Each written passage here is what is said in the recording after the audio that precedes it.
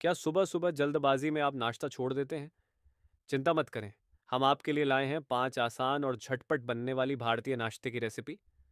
पहला पोहा, इसे दस मिनट में तैयार किया जा सकता है।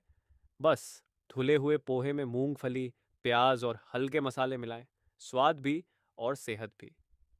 दूसरा, इडली, इंस्टेंट रवा इडली सेहतमंद और हल्का नाश्ता है।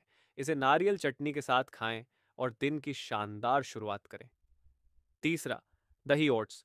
ओट्स को दही में मिलाएँ, ऊपर से थोड़ा भुना जीरा और सब्ज़ियाँ डालें। यह जल्दी बनता है और पेट के लिए हल्का रहता है। चौथा, बेसन का चीला। बेसन और कुछ कटी हुई सब्जियों को मिलाकर चीला बना लें। यह प्रोटीन से भरपूर और बहुत पौष्टिक होता है। पांचवा, उपमा। सूजी से बना उपमा एक स्वादिष्ट और फटाफट बनने वाला नाश्ता है। इसमें आप अपनी पसंद की सब्ज़ियाँ भी डाल सकते हैं। तो अगली बार सुबह की भाग दौड़ में नाश्ता करना ना भूलें। ये रेसिपी जल्दी भी बनती है और आपको दिन भर एनर्जेटिक भी रखेगी।